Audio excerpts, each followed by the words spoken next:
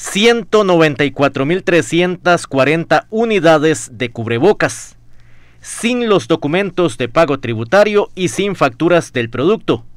Fueron encontradas dentro de un camión que fue intervenido por la Fuerza Pública de Cotobruz.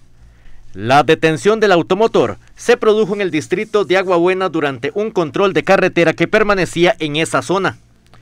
En ese momento comenzó la coordinación con la Policía de Control Fiscal para que se realizara la inspección y el conteo del producto que arrojó un total de 194.340 unidades.